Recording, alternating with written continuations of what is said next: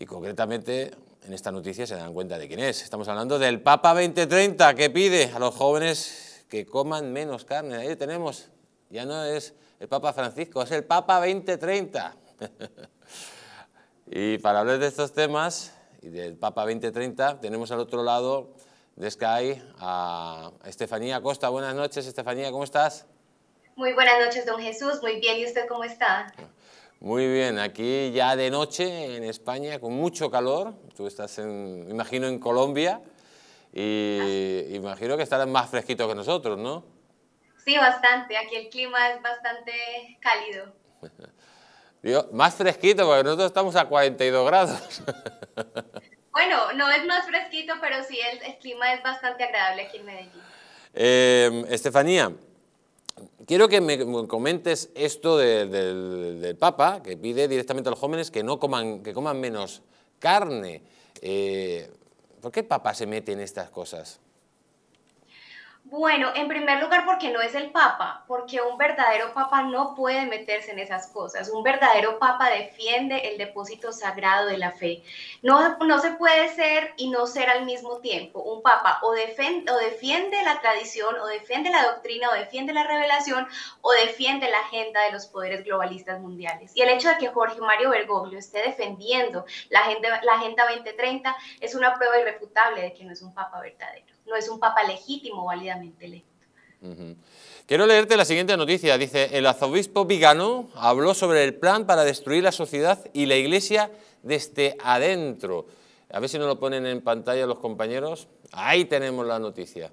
Eh, Estefanía, el arzobispo Vigano está siendo muy crítico con la Agenda 2030 y con, el, con Francisco.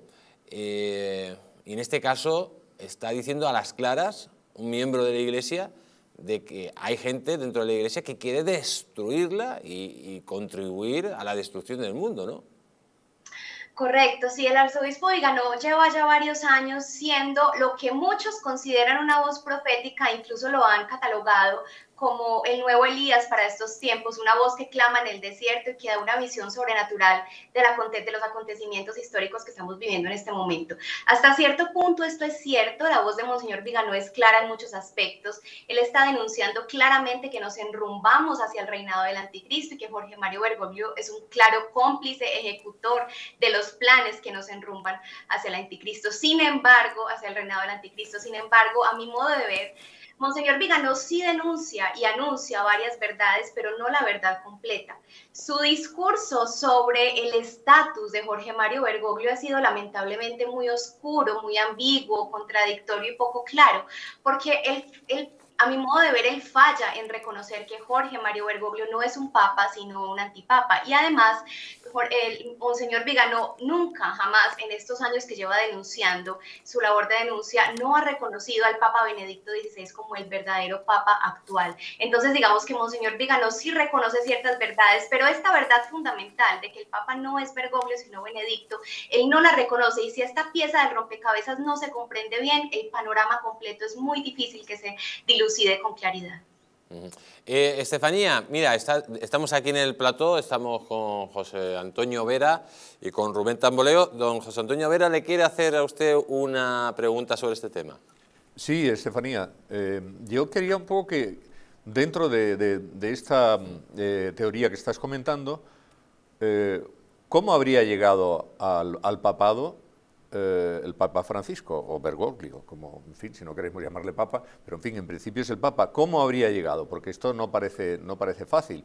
Es, eh, ¿Hay alguna información, digamos, eh, consistente o más o menos consistente con relación a que pudo haber una conspiración? O, ¿cuál, ¿Cuál es la información que, que tiene al respecto, Estefanía?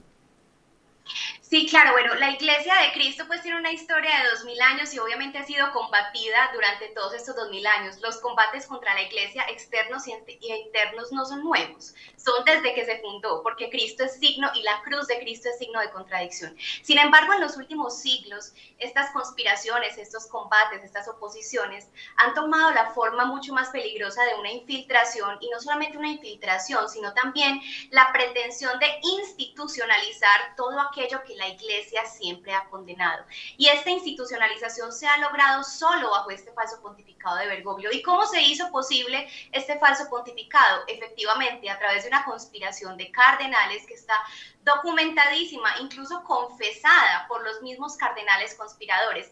Muchos de ellos ya lamentablemente fallecidos, y digo lamentablemente porque no dieron signos de penitencia, de arrepentimiento. El cardenal Godfred Daniels, cardenal belga, el cardenal Morphy O'Connor de Inglaterra, eh, el cardenal, este sí está vivo, Walter Casper, Carlo María Martini, y está documentado en biografías escritas por amigos de Bergoglio y conspiraciones jamás desmentidas por Bergoglio e incluso aceptadas de una manera sutil y equivocada por parte del mismo Bergoglio, quien reconoció el liderazgo de algunos de esos conspiradores en esa mafia que lo eligió en el conclave de 2013. El Francisco, quien se hace llamar Papa Francisco, reconocía al cardenal Morphy O'Connor como uno de estos líderes y le agradeció de manera codificada por esta labor que dio lugar a su elección inválida en el conclave de 2013. ¿Y, por qué y, dentro de esto, por qué había que quitar a Ratzinger y poner a Bergoglio?